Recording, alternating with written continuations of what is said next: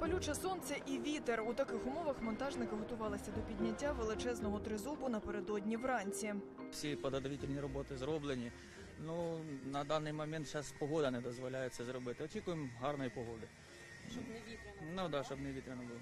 Родина мать вона вся йде 115 метрів, щит де 87-89 метрів. Хвилюєтеся? Ну, звісно, хвилюємося. Хвилюємося, але все буде добре. Команда монтажників працює тут уже більше тижня. Спочатку вони демонтували із щита батьківщини матері стару радянську символіку серп і молот. Тепер підготували усе для підйому семиметрового символу України. Це називається будівельна лебідка, яка піднімає вагу біля двох тонн. Нею будемо піднімати герб. Надвечір до погодних негараздів додалася масштабна повітряна тривога. Роботи знов на паузі. Рух угору сталевий герб розпочав лише після восьмої вечора. Масивну конструкцію встигли підняти на висоту два десятки метрів до настання сутінок. Продовжили роботи вже сьогодні вранці. Монтажники не стримують емоції в цю історичну мить. тризуб на щиті. І ми це всі бачимо. І всі ми спостерігали, який це був непростий шлях. До нього були доучені десятки людей і сотні. Це рішення було непростим і складним.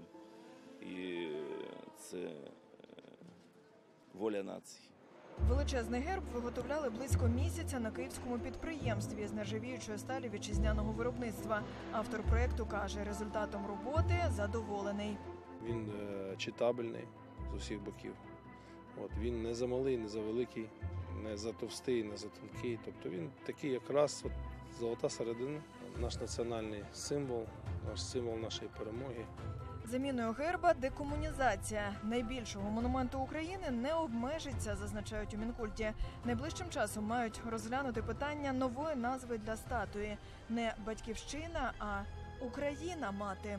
Хтось каже, що і так ми розуміємо, хто наша батьківщина, але будемо відвертими. е, Сам термін батьківщина мати, точніше, родина мать. Він з'явився якраз в контексті Другої світової як е, певний елемент тоді ідеологічної мотивації народу радянського союзу на боротьбу з ворогом. Зараз є ворог не у радянського союзу, а є ворогу України.